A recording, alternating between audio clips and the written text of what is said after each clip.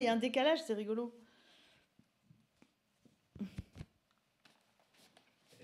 Ah.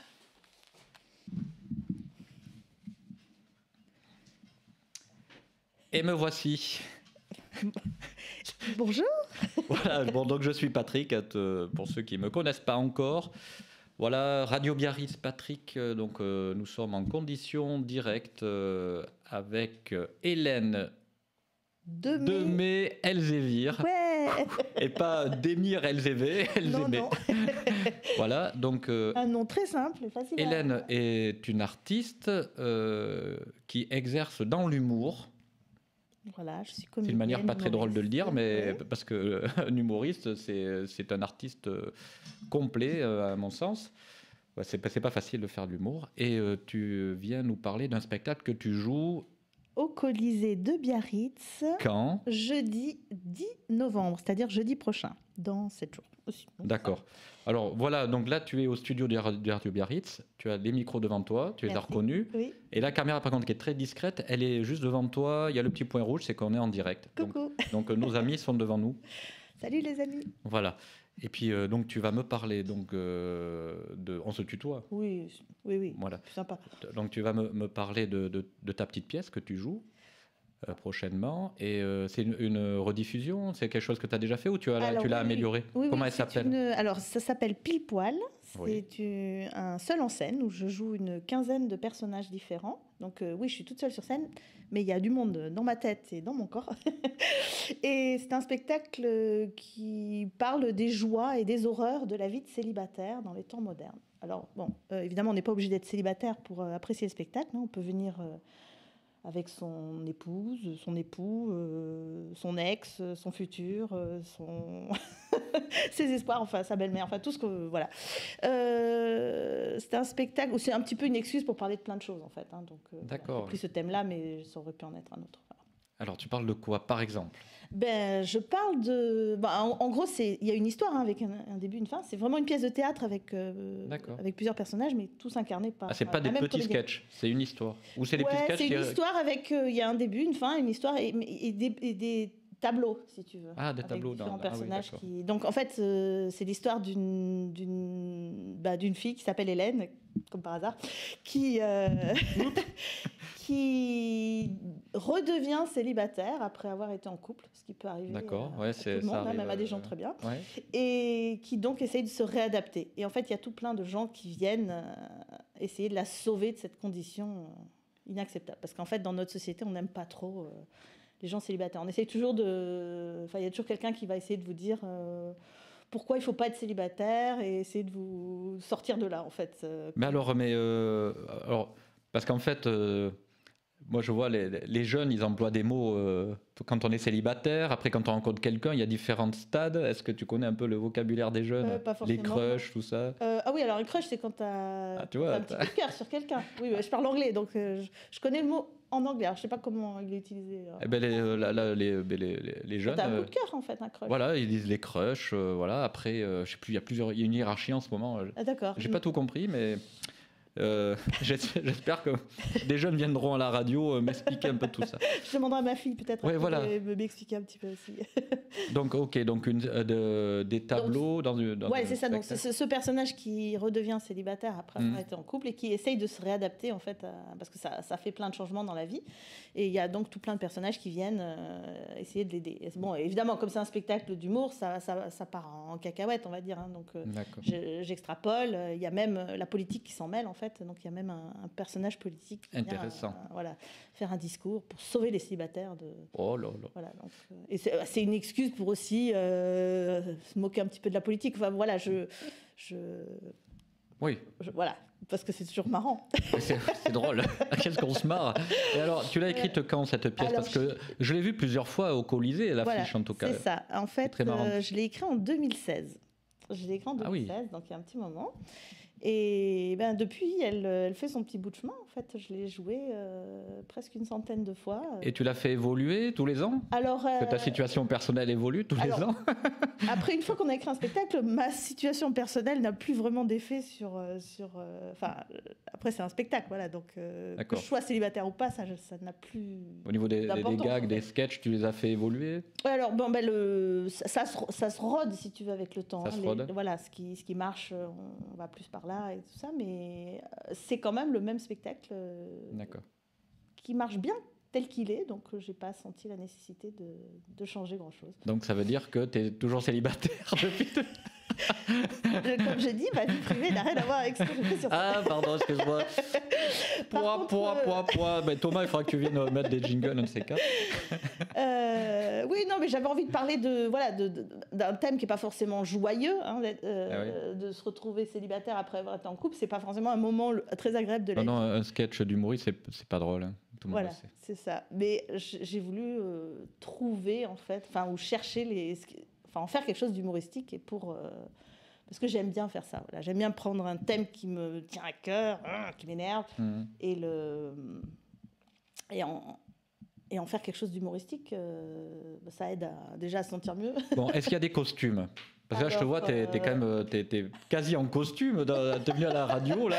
Je t'ai Ah, vu arriver, j'ai dit, oula, mais un spectacle euh, vivant. Euh, ouais, je porte des poids, voilà.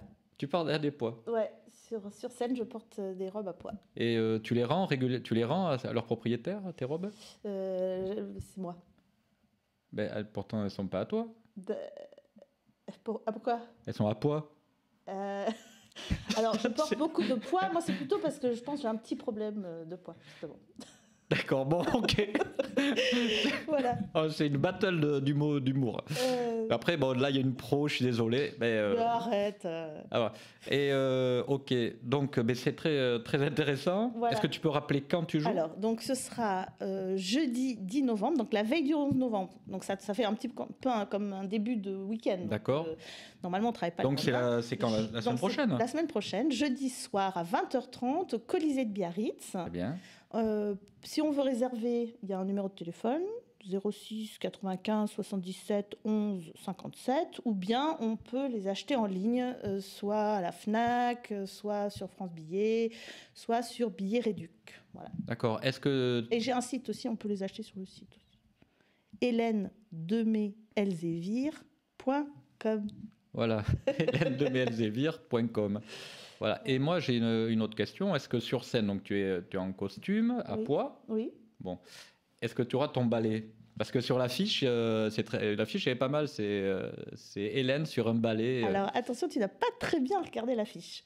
C'est. Hélène sur un rasoir. Je suis sur un rasoir. Ah, c'est un rasoir. Et oui, parce qu'en fait, pile Oh là, je poil, je, parle Ah. euh, du temps, mais je parle aussi des, des poils. Puisque, Ah, c'est pas un balai, parce que de loin, comme ça, on dirait euh, que tu voles sur un Et balai. non, on- Tu voles sur un on rasoir. Ouais, je suis sur un rasoir. Bon, je regardais ça de près. ouais, Elle est déjà affichée, non Euh, oui, en face, elle est affichée. euh, Bon, J'en ai là, je pourrais plus en mettre une, mais bon. Ouais, bon, c'est pas grave. Et euh, voilà, mais euh, écoute, qu'est-ce que tu peux nous dire de plus? Euh, Sur ce que- spectacle. Alors, c'est un spectacle qui s'adresse plutôt à un public, euh, je dirais, à partir de 13 ans. Alors, c'est pas, il y a- il n'est pas vulgaire, mais les petits risquent de pas trop comprendre euh, Mm. beaucoup de choses. Donc, euh, vous pouvez venir avec les enfants, mais ça s'adresse plutôt à un public de 13 ans et plus. D'accord. C'est rigolo, c'est dans la bonne humeur, et si vous riez pas, on vous rembourse. Donc, en fait, vous risquez pas grand-chose si vous venez voir le spectacle. Ah, d'accord, donc tu es sûr Ouais. de toi? Ah ouais, je, suis- Non, ouais, c'est prendre des risques. je l'ai beaucoup joué et euh, en général les gens étaient, euh, étaient contents. Donc je enfin je vois pas euh, pourquoi tout d'un coup ça enfin j'espère que tout d'un coup ça va pas changer quoi. J'espère que ça va rester Ben oui, une soirée dans la bonne humeur. Il n'y a pas de raison. voilà. Si les murs tremblent au Colisée de rire, euh, tu vas venir le voir comme ça tu ben, euh, J'espère avoir le temps, mais tu sais, je suis quelqu'un de très pris, Mais surtout le soir. oh. Voilà, et le matin aussi. bon, dis-moi, euh, avant de se quitter, Oui. euh, est-ce que tu peux, par exemple, nous dire un peu euh, rapidement Oui. comment tu es arrivé à l'humour?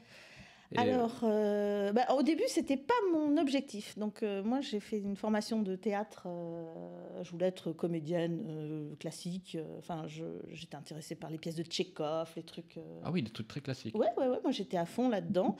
Et puis je suis, donc j'ai fait mes- des études de théâtre en Allemagne, puis après j'étais à Paris, et puis après je suis allée à New York.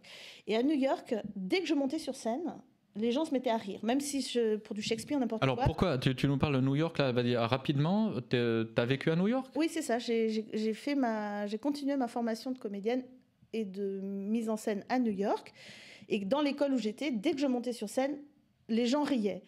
Et je me disais, pourquoi ils rient? Enfin, même quand j'étais dans des trucs. euh, Enfin, moi, je voulais pas être forcément drôle. En fait, je voulais être sérieuse. Les gens riaient. Et je me disais, c'est bizarre quand même. Et. euh, C'est bizarre. Mais il faut pleurer les gars, coup, je faut me suis pleurer. dit, euh, parce que avant j'avais une, une image de la comédie qui n'était pas forcément euh, positive. Je trouvais que c'était un peu euh, du théâtre bas de gamme, on va dire. Ah oui. Et en fait, et en fait, je me suis rendu compte que pas du tout, qu'avec l'humour, on pouvait faire passer plein de messages super intéressants.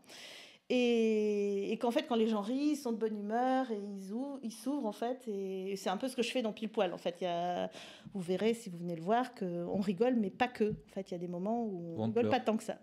Presque. Ah oui, Ouais, oh ouais, il y a de l'émotion. Bah, il y a de l'émotion, oui, parce qu'en en fait, euh, il y a de la sincérité aussi. Est-ce qu'il y a de la musique, tiens? Euh, un petit, petit peu. Comme ça, un petit fond sonore? Un petit peu. Est-ce que tu fais participer le public? Alors oui, je fais participer le public. Par contre, je ne fais jamais monter personne sur scène. Mais moi, j'aime beaucoup aller dans la salle. Donc, je me balade dans Oh la salle de temps en temps. Mais c'est un spectacle. Mais oui, parce que c'est du spectacle vivant. Moi, je veux de l'interactivité, je veux, de- je veux de- je veux du contact. Et, euh, D'accord. et voilà. Donc euh, j'en profite parce que, euh, en plus, euh, j'ai pris deux, deux ans de vacances euh, forcées là, où, enfin, nous, les artistes du spectacle vivant, euh, on, a- on a besoin de, enfin, on a besoin, on a envie, on vit, on vit de ça, pas seulement financièrement, mais émotionnellement en fait, de cette- Ah oui. cet échange, cet échange avec le, le public, cette interactivité. Et, Et donc, on a tu- été privé de ça pendant trop longtemps. Donc là, euh, ouh, je vais prendre. bon, une artiste donc euh, internationale donc euh, et, et qui va passer au Colisée, qui va nous, nous faire rire, euh, qui va se, se jeter dans le public euh, Ouais. comme Mike Jagger. fait dans- bon, ok. Euh, et puis, euh, ben écoute, on a hâte. hein. Bah, écoutez, Et puis, moi j'ai hâte que vous soyez là. Il, Puis t'es la il reste bienvenue. des places, donc profitez-en. euh, il reste des places. Oui. D'accord, très bien. Donc, euh, Et euh, qu'est-ce que je veux dire euh, ben, Tu es la bienvenue à Radio Biarritz. bah, merci. tu viens moi, quand tu veux. Super plaisir Ben. J'espère que tu, tu peux venir. euh, tu viens quand tu veux. hein, Ben, pour, je vais pour- pour faire ce que tu veux. Je vais revenir, surtout qu'en décembre, je refais un spectacle, un autre, pour les enfants ce coup-ci. Ah, sympa. Euh, Mère Noël part en tournée. Ben voilà. Voilà, donc je reviendrai vous en parler. Et viens avec des amis et, des- et même des, des gens que tu as envie de rencontrer. C'est une, bonne Ah occasion. J'adorerais. Voilà, on va, on va, s'arranger, on va faire ça. Bon, ben salut. Super. Allez, salut tout le monde. À bientôt. Merci. Merci Hélène. Merci Patrick. Merci Hélène. Merci Patrick.